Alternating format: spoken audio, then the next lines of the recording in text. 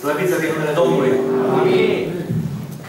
Preiubiților, iubindu-L pe Domnul, iubind cuvântul Domnului, cred că este o bucurie pentru noi să ne apropiem de cuvântul lui Dumnezeu, să-L cercetăm pentru că în El găsim viață. Și cred că este o bucurie și astăzi să continuăm studiul început din Epistola către Evrei. Această a cincea Evanghelie, cum mai este numită, pentru că patru Evanghelii ne vorbesc despre lucrarea Domnului pe pământ, iar această epistolă ne vorbește despre lucrarea Domnului Iisus în cer. Nici o altă carte a Bibliei nu ne vorbește atât de mult despre preoția lui Hristos. Despre Hristos ca mare preot. Și autorul epistolei caută să fie cât mai convingător încă de la primele versete. Cât mai convingător față de cititorii epistolei sale. Destinatarii inițiali, adică acei credincioși convertiți dintre evrei și apoi generațiile de credincioși care au urmat până la noi. Și cred că ceea ce ne privește a fost suficient de convingător, pentru că el caută să ne convingă spunându-ne că Isus, prin nou legământ, este mai mare decât tot ceea ce s-a cunoscut până atunci. Ne spune de la bun început că Isus este superior prorocilor, că este superior îngerilor. Că prin lucrarea sa este mai mare decât Iosua pe care evreii îl vedeau ca pe omul care i-a dus în țara de odihnă. Ori Hristos este cel care îi duce într-o țară de odihnă eternă. Ne spune că este mai mare decât Moise. Moise care era, cum spune Biblia, credincios peste toată casa lui Dumnezeu. Dar vi se mai spune, era credincios ca slugă. Pe când Isus este credincios peste toată casa lui Dumnezeu ca fiu. Ba mai mult, El este și ziditorul, constructorul acestei case. Este mai mare, mai spune autorul, și decât Aron, care a dat, prin legea levitică, un șir lung de preoți după el. Preoți după rânduiala levitică. Dar despre Hristos se spune că este mare preot după rânduiala lui Melchisedec. S-a dat pe fiecare jertfă o singură dată. Jertfele se aduceau repetat la cort sau la templu. Și vechii preoți după rândeală levitică, trebuia să aducă jertfe și pentru propriile lor păcate. În Hristos însă avem un mare preot, care s-a dat pe sine, pe sine ca jertfă o singură dată și preoția lui este eternă.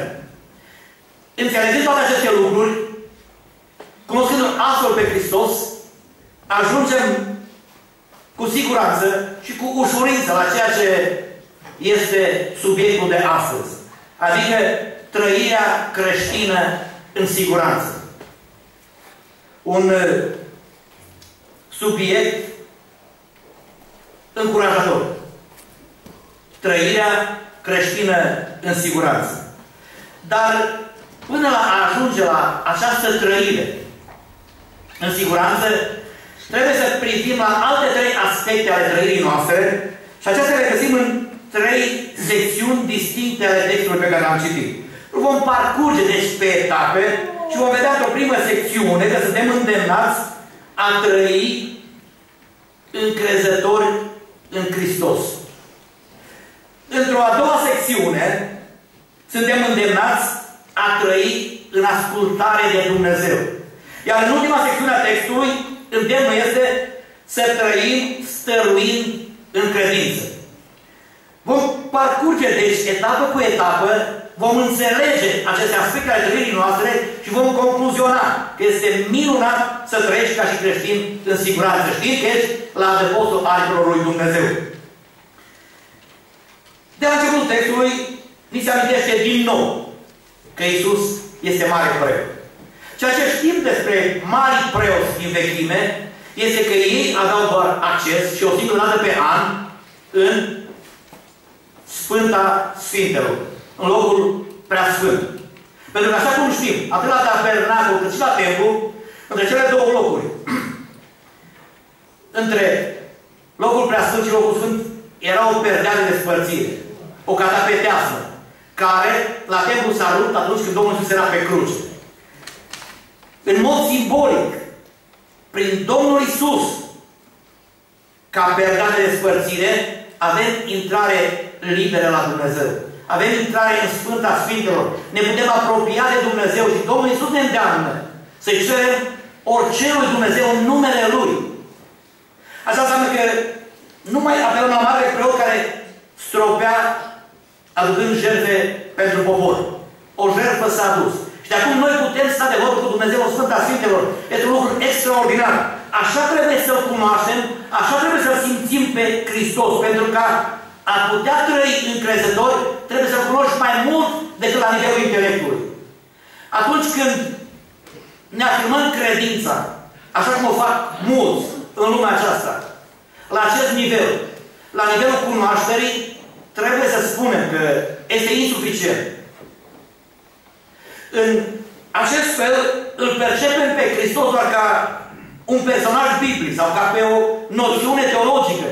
Dar Hristos nu este aceasta. Este Fiul lui Dumnezeu care s-a dat ca jertfă pentru noi. Și este tocmai ceea ce spuneam mai înainte. Ne-a deschis drum spre Dumnezeu. Nimeni nu vine la Tatăl decât prin mine, spune Hristos. De aceea este bine să ne analizăm unde suntem în trăirea noastră cu Hristos.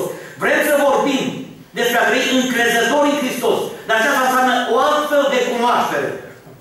O altfel de trăire. A simți pe Hristos cu inima, cu întreaga ființă. Pavel spunea că noi ne ascundem cu Hristos în Dumnezeu. În această contopire simțim prezența lui Hristos în fiecare zi. De aceea e bine să ne analizăm cum stăm cu cunoașterea lui Hristos, cu trăirea noastră cu Hristos.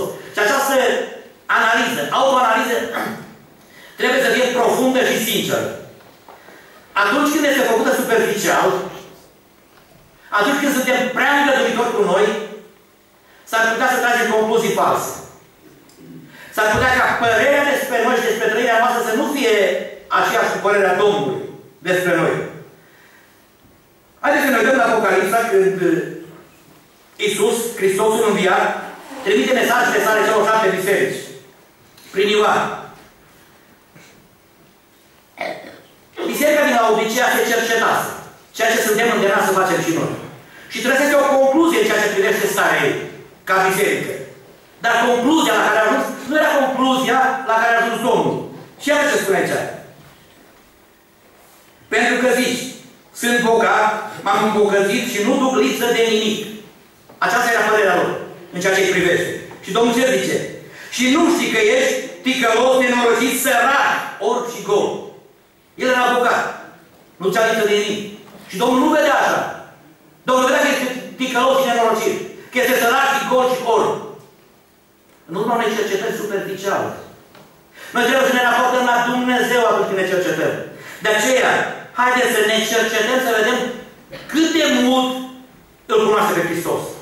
Cât de mult trăim cu Hristos. Și atunci încrederea noastră în Hristos va fi de plină. Și umblarea noastră cu Hristos ne va duce la biruință. La aceasta suntem îndemnați în această primă secțiune. Și, mi se mai spune aici, să ținem fără șovăire la mărturisirea nădejdii. Avem o speranță în noi. Dar această mărturisire a speranței noastre trebuie ținută fără șovăire. Ezitările sunt extrem de păcuoase. Și evrei, ca destinatari inițial acestei epistole, aveau în istoria lor o experiență dureroasă în acest sens. O amintire tristă. Haideți să ne amintim de momentul Cades Barnea, din rătăcirea lor prin deșert. Până acolo au ajuns din minune în minune. I-a trecut Dumnezeu prin Marea Roșie. Au trecut de Mar, altă minune. Au trecut de Refidim, au trecut de Sinai. Și după mai puțin de un an, au ajuns la Cades Barnea. Dacă privim pe harta rătăcirilor, erau doar un pas de țara promisă. În mai puțin de un an. Și aici Dumnezeu îi spune lui Moise, trimite oameni să-i scodească țara Canaan. Poporul și instalează tabăra și scoatele se duc. După 40 de zile de cercetare a țării de scodere se întorc. Și 10 dintre cele 12 scoade zugrăvesc acel ținut în culori sumbre. Și aceasta creează tulburare. În țară sunt uriași, țara aceea mănâncă oamenii, creează tulburare. Și aici se naște șovăirea. Un lucru care nu i-a făcut lui Dumnezeu. Pentru că, haideți să ne uităm ce fac. Ce zicea Dumnezeu lui Moise? Domnul a vorbit lui Moise și a zis, trimite niște oameni să-i scodească țara Canaanului pe care o dau copiilor lui Israel. Este cuvântul lui Dumnezeu. Ori, chiar dacă ceea ce spuneau în relatorile lor fanteziste, cele 10 iscoate, care erau de fapt niciuni, chiar dacă ar fi fost real, nu era treaba poporului. Sunt uriaș, sunt balau, să fie ce-o fi. Fiare sălbatice. Dumnezeu a spus, țara pe care o dau copilul lui Israel. Acesta este cuvântul lui Dumnezeu. De ce te îndoiești, omule? De ce șovăi? Păi nu-i treaba mea ce este acolo. Dumnezeu a zis că îmi dă țară, mă duc acolo. E treaba lui Dumnezeu. Cum de altfel s-a și văzut la spiritul călătoriei lor. Dumnezeu a dat mâna lui Iosua toate popoarele care îi se împotriveau să cadea în cale. E treaba lui Dumnezeu să curețe țara în ceea ce era pus acolo. Era o țară pe care a pentru poporul său. Și o văire păguboasă. Care a fost atitudinea lui Dumnezeu? Cum adică? Voi vedeți minunile mele și acum vă îndoiți? Iată că vă cele 40 de zile cât a fi scodit țara, veți vedea și 40 de ani în pustiu. Și mai mult, dintre cei trecuți de 20 de ani, cu doi excepții, Iosua și Caleb, toți ceilalți veți muri în pustie, nu veți vedea țara. Asta înseamnă să șovăiești atunci când Dumnezeu te trimite undeva. Când Dumnezeu îți vorbește clar și răspicat cum a vorbit în cazul acesta. Nu șovăiți în mărturisirea nădejdii voastre. Este îndemnul în această epistolă. Se întâmplă acesta să șovăim. Se întâmplă, pentru că realitatea lucrurile stau felul următor. Avem uneori cereri ciudate. Sau așteptări nepotrivite de la Dumnezeu. Și iată că Dumnezeu nu ne răspunde. Și suntem dezamăgiți. Nu înțelege că de fapt am cerut ceva nepotrivit. Că cererile noastre nu sunt după voia lui Dumnezeu. Nu înțelegem aceasta. Avem așteptări nepotrivite și pentru că Dumnezeu nu ne răspunde, suntem dezamăgiți. Și această dezamăgire zdruncină credința noastră și nu urma acestei dezamăgiri se clatină credința noastră și apare îndoială. Și îndoiala este o boală a sufletului. Care este soluția în cazul acesta? Sunt astfel de bolnavi în mijlocul nostru. Am trecut toți în astfel de boală. Dar nu ne îmbolnăvim toți odată. Și când un astfel de bolnav este în mijlocul nostru, ceea ce putem face este să-l sprijinim și să-l ridicăm. Așa ne îndeamnă cuvântul în această primă secțiune a textului. Să vegem unii asupra altora, ca să ne îndemnăm unii pe alții. Așa trebuie să facem. Să ne încurajăm unii pe alții. Să ne îndemnăm. Cineva se clatină și vedem îndoiele lui. Vedem că mașină. Putem să ne rugăm împreună. Putem să-L aducem înaintea lui Dumnezeu. Putem să-L întâlnim cu cuvânt din Scriptură. Aici întâlnim ca îndemn la părtășie în această secțiune un verset unic în Scriptură. Un verset în care se spune să nu părăsim adunarea noastră cum au unii obicei. E atât de clar mesajul acesta. E atât de limpede încât nici măcar nu ai iscat controverse. N-ai cum să-l interpretezi altfel. Deși sunt unii care sunt deficitari la frecventarea bisericii și atunci încearcă să-l răstălmăcească, de fapt, a părăsi adunarea nu seamănă neapărat a lipsit de la biserică, de la adunare și a te retrage din adunare, din biserică. Nu, iubiți frați și lucrurile sunt foarte clare. Și Biblia ne vorbește în repetate rânduri despre biserică, Biserica lui Hristos ca fiind trupul lui Hristos, iar noi mădulare, organe ale acestui trup. Ori știm bine că un mădular amputat și aruncat, chiar dacă prin absurd ar supraviețui, nu este de niciun folos trupul atât decât nu este trup. Dar știm bine că un organ amputat, oricare ar fi el, și îndepărtat, moare. Nu supraviețuiește. Așa se întâmplă cu toți cei ce părăsesc adunarea. Vorbeam aici despre faptul că avem nevoie, pentru a trăi încrezători în Hristos, să fim tari. Să nu șovăim. Să nu avem ezitări. Și pentru aceasta trebuie să ne sprijinim unii pe alții. Cum să sprijinesc pe fratele meu care nu vine la biserică, nu știu cu ce se confruntă. Poate tocmai despre boala aceasta despre care vorbeam, suferă. Poate că îndoială al mașină și nu mai are fil de legătură cu cerul. E bine, dacă el nu este prezent aici, să-i cunosc frământarea, cum se poate ruga biserica pentru astfel de om? De aceea este necesar, de aceea suntem îndemnați. Nu părăsiți adunarea. În cazul evreilor era mult mai greu. Erau asupriți, erau prigoniți. Și totuși căutau să fie la părtășire. Așa trebuie primit creștinii. Dar au vrut să fie împreună.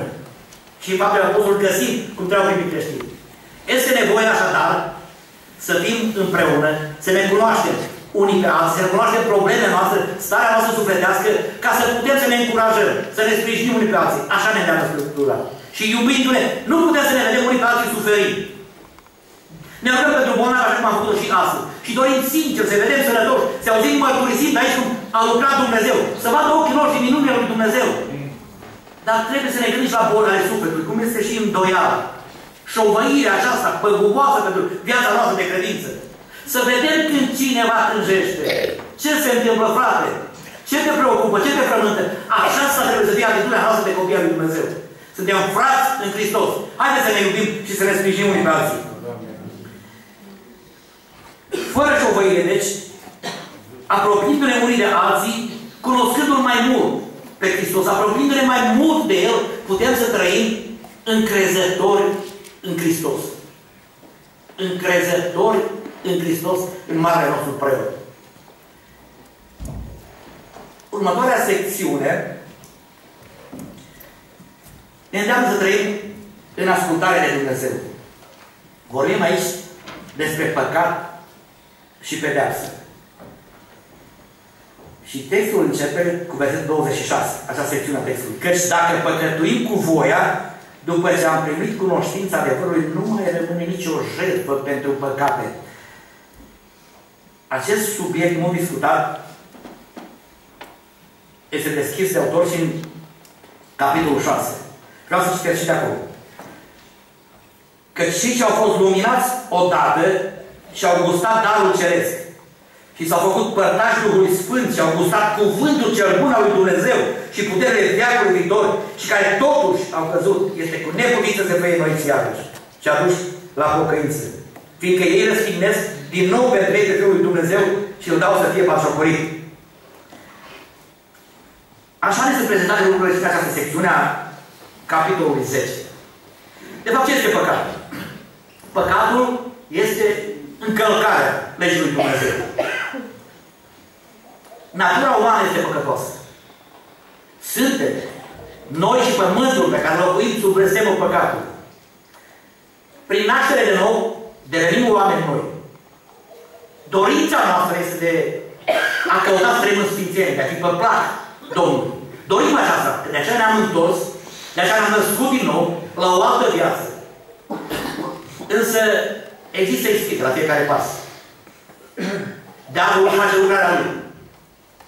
Și el caută, caută pe orice cale să ne doboare. Să ne ispitească într-un fel sau altul. Dar trebuie să știm că diavolul nu are putere nelimitate.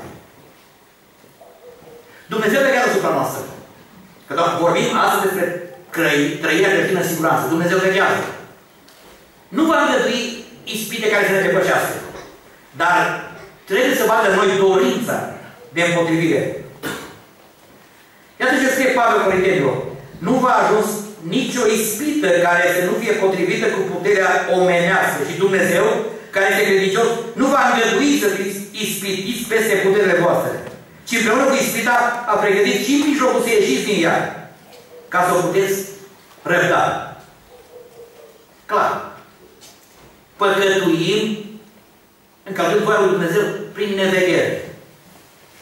Sau ne, ne subestimăm forța pe care Dumnezeu să ne împotrivim. Vom fi ispitiți și toți avem punctele noastre slabe, sensibilitățile noastre. Și diavolul și legerea lui le cunoaște. Știe unde să ne atace pe fiecare din noi. Nu în același punct. În punctul sensibil al fiecare. Acolo ne atacă. Dar, dacă ne dovedim veghetori, cuvântul lui Dumnezeu ne asigură că nu va îngădui Dumnezeu să cădem. Și ne spune în altă parte, împotriviți-vă diavolului, tare în credință și el va fugi de la voi. El nu are puteri nelimitate. El este limitat în puterea lui. Și Dumnezeu nu îngăduie mai mult decât putere. Și totuși de ce păcătuim? Pentru că nici măcar puterea pe care Dumnezeu ne dă să ne împotrivim ne folosim. Pentru că ne complacem adesea starea aceasta și gustăm din ispită. Am fost salvați odată.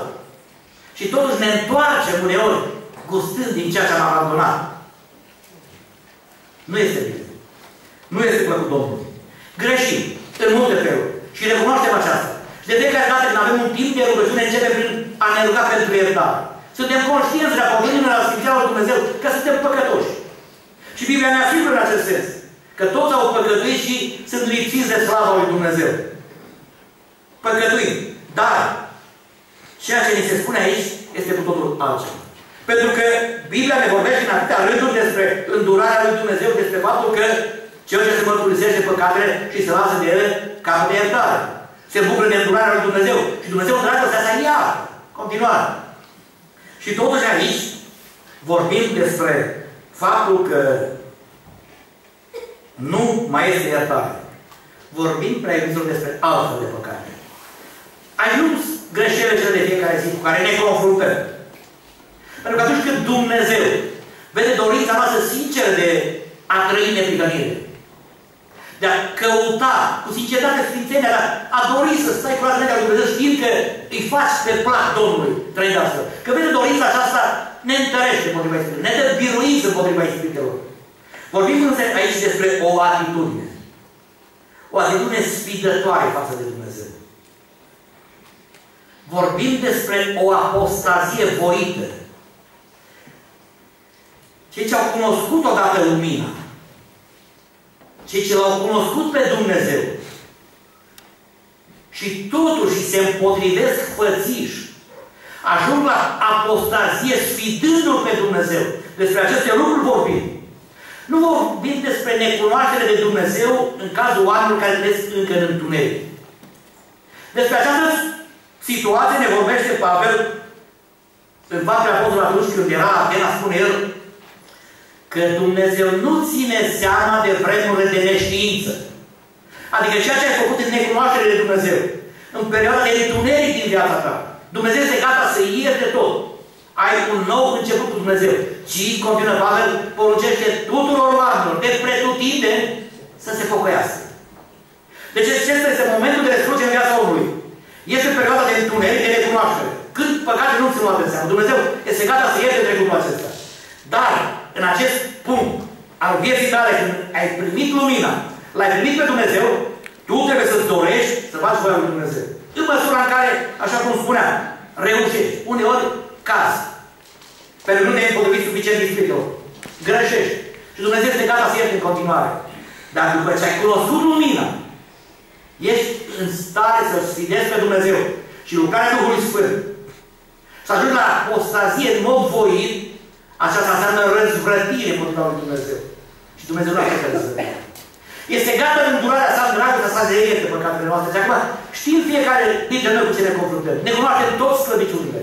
Și atunci când ne mărturisim înaintea lui Dumnezeu, îi spune și de ce am făcut și de ce am spus și de ce am gândit rău. De gânduri care nu sunt roade ascultării de Dumnezeu, cum se exprimă frumos Pavel. Făm și gânduri, rog ascultării de tine. Numai că și gândurile au razna uneori. Păcătuim și gândim. Dar Dumnezeu este gata să ierte. Și așa cunoaște pe Dumnezeu dragoste. Gata să ierte. Însă este această situație pe care nu o poate tolera Dumnezeu. Răzvrătirea aceasta. Apostazia aceasta voită. Sfidarea lui Dumnezeu.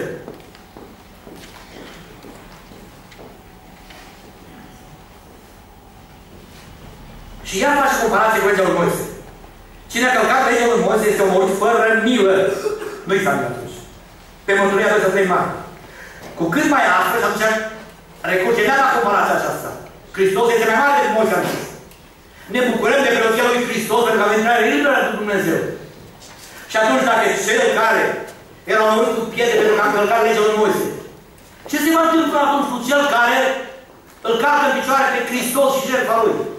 Pentru că dacă ai crescut, pentru că dacă ai cunoscut odată lucrul acesta, ai înțeles lucrul acesta, că ești salvat prin jertfa lui Hristos, ai acceptat lucrul acesta, te-ai bucurat de lucrul acesta, ai întoarce în cunoaștere spatele lui Hristos și jertfei sale să nu călca în picioare.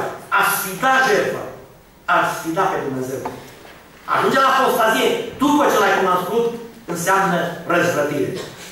Așadar, această neiertare și răzbunare a lui Dumnezeu nu se referă la greșelile noastre de fiecare zi, în care este bine să nu insistăm. Cine își mărturisește păcatele și se lasă de ele, cum spune Scriptura. Să căutăm, să nu repetăm mereu și mereu păcatele noastre. Să ne împotrivim păcatele, să ne împotrivim ispitelor și Dumnezeu ne va da biruință. Dar, dincolo de aceasta, trebuie să privim la această atitudine sfârșitoare. Dacă n-ar fi existat cazuri reale încă de pe atunci, autorul n-ar fi vorbit despre această situație. Dar sigur a existat și atunci.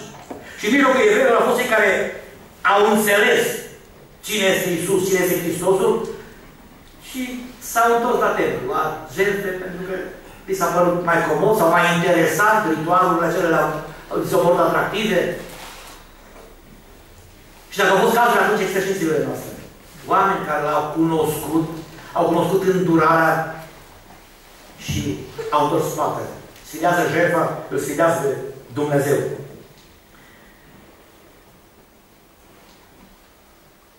A mea este răspunarea, eu vă răsplăti. Și încheie această secțiune. Grozav lucru este să caz în mâna Dumnezeului celui viu. Dumnezeu este dragoste. Dumnezeu este dragoste. Așa ne spune Scriptura. Așa l-am cunoscut. Așa trăim, simțit-o pe Dumnezeu ca fiind dragoste. Dar ne mai spune Scriptura că Dumnezeu nu socotește nevinovat pe cel ce este vinovat ori o sfidare, o împotrivire, o răzvrătire împotriva lui Dumnezeu nu poate fi tolerată. Păcatele se iau, dar atitudinea aceasta sfârătoare, această răzvrătire, această apostazie în cunoaștere de Dumnezeu nu va fi iertată. Jertfa o dată pentru totdeauna. Așa că, după ce am văzut că trebuie să trăim încrezătorii Hristos, am văzut că trebuie să mai trăim și în ascultare permanentă de Dumnezeu. Cunoaștem legea lui Dumnezeu, cunoaștem voia lui Dumnezeu cu privire la noi, adică sfințirea noastră. Și ceea ce vrea Dumnezeu să se ne vadă că neîncetat căutăm să ne sfințim. Că dorim să trăim în sfințenie, în curăție de inimă. Că dorim să fim pe plan. Și El ne va da putere împotriva ispitelor. Și avem o a treia secțiune care încheie textul și în care suntem îndemnați la a trăi stăruind în credință. Am primit credința ca un dar. Și ne bucurăm crezând. Crezând din toată inima. Și nu doar la nivel intelectual, așa cum am spus, la nivelul cunoașterii teoretice. Crede în puterea lui Dumnezeu Credem în dragostea lui Dumnezeu și credem în intervenția lui în viața noastră. Credem că Dumnezeu răspunde rugăciunilor noastre. Că de aceea ne rugăm. Trăim, umblăm cu Dumnezeu. Dar, vedeți dumneavoastră, și această credință noastră, și știm fiecare în experiența personală, are fluctuații în timp. Crede mai intens și, așa cum spuneam, și prima parte, mai apare îndoieli. Ori noi trebuie să credem din toată inima neîncetat. Și acest paragraf ne îndeamnă Domnul aceasta. La a stărui în credință. A trăi stărui. Această parte a trăirii noastre face parte tot din trăirea creștină în siguranță. Și vorbind la evrei, în această epistolă, autorul apelează la memoria lor. Amintiți-vă cum erați la început. Le spun eu.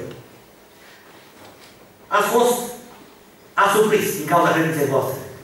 Și de altfel, primii care au suprit au fost conaționalii lor. Pe toți cei care au plecat de la templu, pe toți cei care au îmbrățișat creștinismul care religie, i-au asuprit conaționalii lor. Evrei din Ierusalim. Apoi au venit prigonirile romane.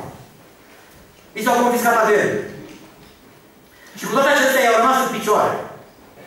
Cel puțin la început. Și acest trecut al lor, la acest început promițător al lor, face referire la lor când spune amintiți-vă cum erați odinioară. Ca să îi întărească în hotărârea lor de a rămâne în picioare neîncetat, de a să întări credință, le spune, iată cum erați voi odinioară. Iată care au fost începuturile voastre. De ce nu se poate și acum? Pentru că a început de la acea dragoste pe care noi o numim dragostea din tâi. Vorbim despre dragostea din tâi, indiferent că vorbim despre dragostea noastră față de Dumnezeu sau dragostea față de partenerul de viață, Trebuie să spunem că ea nu are limite în timp. Nu are o viață care se termină cum cred unii. A avut o perioadă și s-a stins brusc. Nu este așa. Dragostea, că vorbim, cum spuneam, despre dragostea față de Dumnezeu, dragostea față de partenerul de viață este un foc. Focul nu se stinge numai dacă nu-l întreții. Un foc întreținut nu se stinge. Vorbim despre dragostea din tâi. În ceea ce privește credința noastră, era focul acela care ne ardea și ne la casa Domnului și ne îndemna să ne apropiem unii de alții în dragoste. Ori dacă nu mai suntem așa, este pentru că n-am întreținut noi focul. Mergem din nou la mesajul Apocalipsei, la mesajul Domnului către biserici. Iată ce spune bisericii din Efes. Dar ce am împotriva ta, după ce a analizat, după ce a lăudat pe tot ce era bun, dar ce am împotriva ta, vezi, este că ți-ai părăsit dragostea din tâi. Nu spune că ți-ai pierdut dragostea. Că s-a stins dragostea pentru că așa era normal să fie. Ți-ai părăsit dragostea din tâi. Dragostea este un foc care se stinge dacă îi doci spatele. Dacă îl părăsești, dacă nu întreții. Un foc întreținut nu se stinge. Și dragostea este un foc. Aduceți-vă aminte, spune autorul evreu, cum era la început? În focul prigonirilor voastre. Voi depuneați mărturie cu îndrăzneală. Voi vorbeați despre Hristos. Voi țineați fidarul sus. De ce nu puteți să fiți neîncercași? Se poate. Se poate trăi stăruind în credință. Întreținând dragostea aceasta pentru Hristos, pentru care mântuirii, pentru Evanghelie, te întărești în credință. Trăind în unitate, sprijinindu-ne unii pe alții, rugându-ne unii pentru alții, ne întărim în credință. O credință care trebuie să fie neîncetată. Viața noastră de credință trebuie să ne călăuzească. Să nu vă părăsiți, dar încrederea voastră pe care o așteaptă o mare răsplătire. Așa de frumoasă. Sunt promisiunile divine. Ne îndoim oare de ele? Pentru că dacă suntem încredințați, fără șovăire, cum ziceam mai devreme, în ceea ce ne-a promis Dumnezeu, de ce ne cătinăm? De ce să răcește focul acela care trebuie să fie întețit? Pentru că știm bine că Iisus vrea să ne vadă clocotii. Avem promisiunea asta extraordinară. Puteți să priviți pe ce să știți acolo, suntem așteptați într-un loc pregătit în mod special pentru noi.